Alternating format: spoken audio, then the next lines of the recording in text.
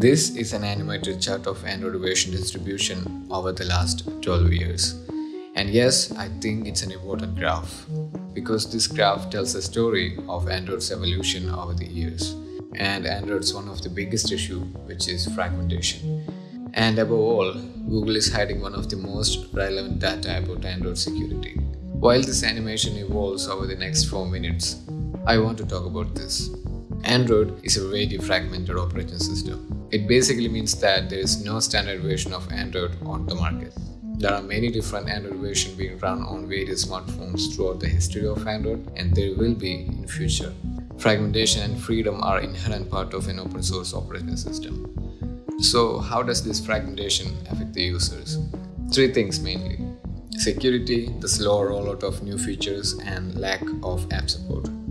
As of now, there are 3 billion active Android devices around the globe, and 26% of these Android phones are at least 5 years old, and that's a lot of people.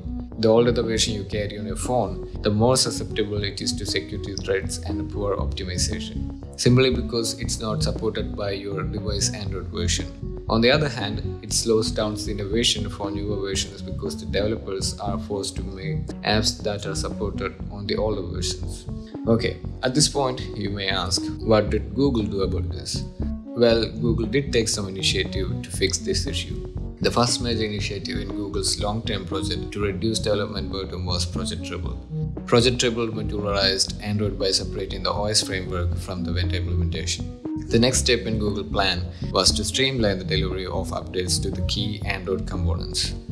Google called this initiative Project Mainline. It was introduced alongside Android 10 in 2019. They then set up a delivery mechanism via Google Play so they could remotely roll out updates to these key components without having to wait for OEMs to apply the patches themselves.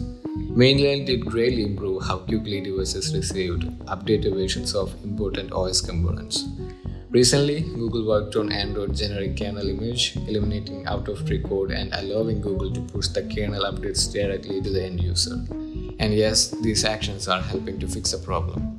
The adoption rate of latest version of Android user is higher than ever in history of Android.